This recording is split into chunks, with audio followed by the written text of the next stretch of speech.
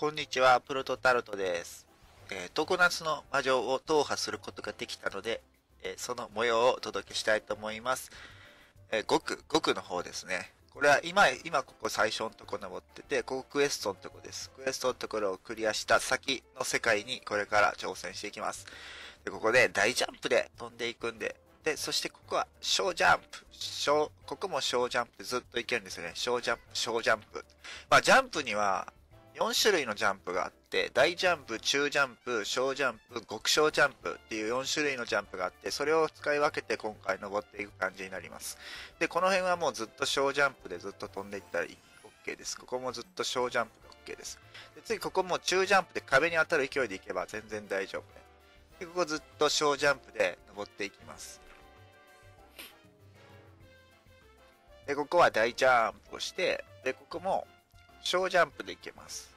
ギリギリから小ジャンプをするとたどり着いて、ここも中かな。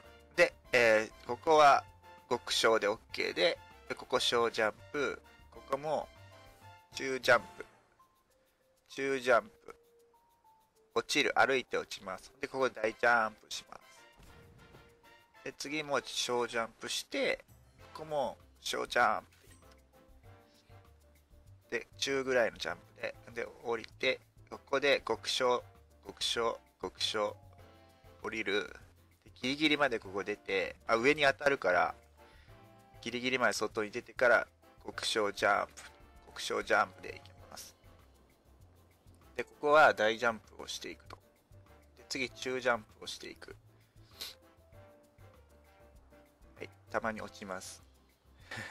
なんかここ落ちやすいですよね。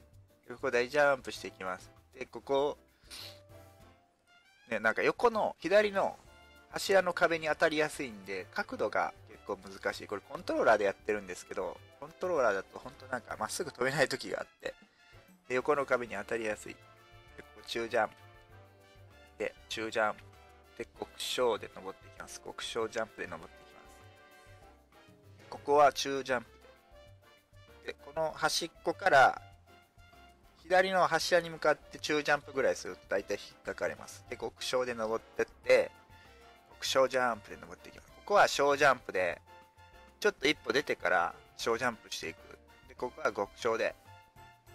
こっからもうずっとね、ほぼ極小ジャンプが必要になってくるんで、裏技的な方法があって、スラッシュを押すんですね。スラッシュを押すと、あの、天気のスラッシュを押すと、歩行モードに変わります。どんなに押しても歩行になるモードになっていくんで、歩行モードになると小ジャンプと極小ジャンプしかできなくなると。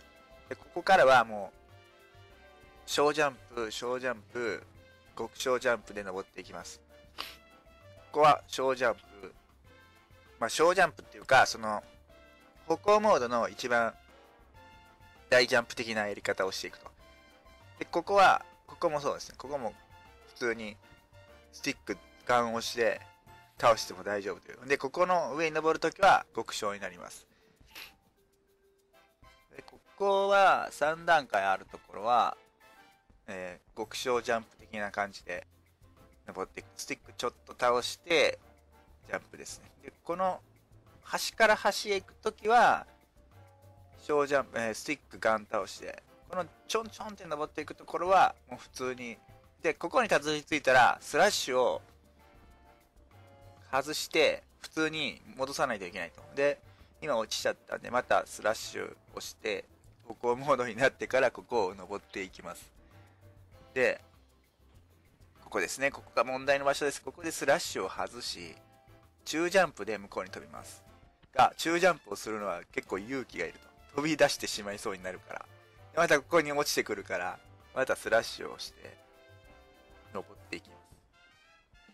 いやー、ここまで来るの大変でしたね、本当に。細すぎるんですよね、これ。細すぎるんですけど、横、見えない、なんか、乗るところがあるので、それを意識して飛んでくるというイメージです。でここから中ジャンプで飛ぶ。